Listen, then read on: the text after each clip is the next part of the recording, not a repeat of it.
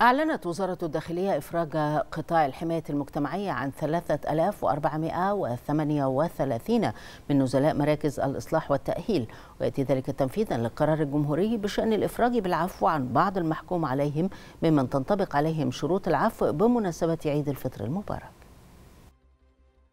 الله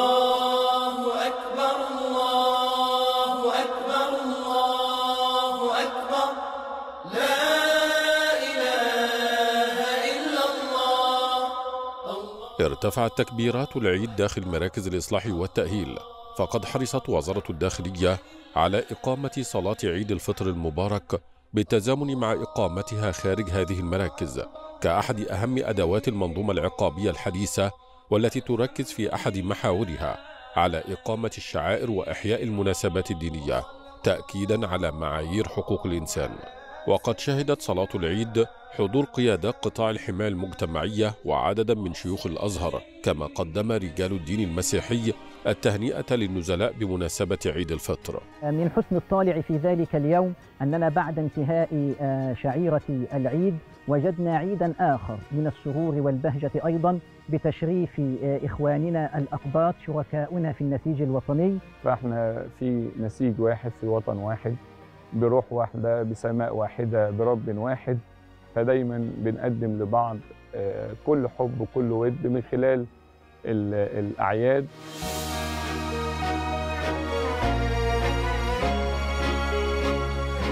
امتزجت فرحة النزلاء بالعيد مع فرحة المفرج عنهم. فقد أصدر الرئيس عبد الفتاح السيسي رئيس الجمهورية القرار رقم 104 لعام 2024 في شأن العفو عن باقي مدة العقوبة لبعض المحكوم عليهم بمناسبة الاحتفال بعيد الفطر المبارك. أول ما سمعت الخبر طبعا فرحة جميلة وأصحابي وناسي وأنا فرحانة لما أروح لعيالي بالسلامة ونشكر سيدنا الرئيس على المعاملة كمان اللي هنا جميلة جدا. من كتر فرحتي أنا ما كنتش مصدق نفسي. والله بجد ما كنتش مصدق نفسي خالص إن أنا طالع. بشكر سيادة الرئيس على العفو اللي هو عمله لنا اللي يخلينا نقضي العيد وسط أهالينا ونفرح معاهم بإذن الله. أنا فرحانة جدا النهاردة إن أنا طالعة في وسط عيالي وأهلي.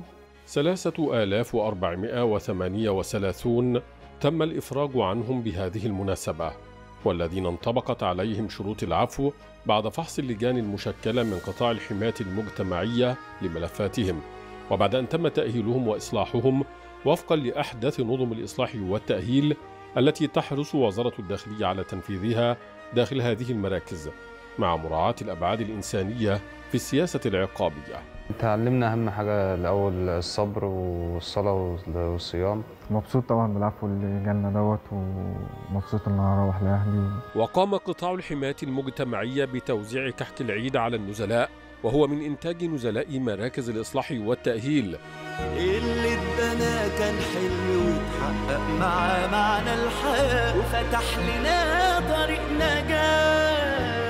خطوات جديدة يخطوها المفرج عنهم لبداية حياة جديدة حيث كان في استقبالهم ذويهم خارج مراكز الإصلاح والتأهيل بفرحة كبيرة وأشادوا بقرار العفو الرئاسي الذي أعاد إليهم أبناءهم إلى أحضانهم كما أشادوا بتغيير سلوكياتهم وما لمسوه من استعداد لديهم لبداية حياتهم الجديدة. أقدر على الحمل التقيل وهرد للبلد الجميل. مبسوطة جدا جدا جدا إن ابني في حضني. الحمد لله وبشكر ربنا وبشكر الرئيس اللي مطلع لي ابني بالسلامه حسيت ان ابني اتغير للأحسن وطالع من هنا معاه مهنة وطالع من هنا معاه صنعه يشتغل بيها في الملكية ويبقى راجل كويس ويقدر يعيش ويقود حياته. بشرى سعادتنا النهارده إنه ابني طالع في ليلة عيد والحمد لله يعني. وبنشكر سيادة الرئيس في العفو اللي عمله. ومشكورا جدا جدا جدا وكل سنة وهو طيب. التوسع بالإفراج بالعفو الرئاسي هو أحد أهم أدوات السياسة العقابية الحديثة وهو فرصة للمفرج عنهم للبداية من جديد. الإفراج بالعفو الرئاسي عن نزلاء مراكز الإصلاح والتأهيل من من تنطبق عليهم شروط العفو. هي فرصة لهؤلاء النزلاء لبداية حياة جديدة معتمدين على ما تعلموه داخل مراكز الإصلاح والتأهيل والتي تطبق أعلى المعايير الدولية في مجال حقوق الإنسان وفي البرامج التأهيلية المختلفة. عبد الله بركات التلفزيون المصري.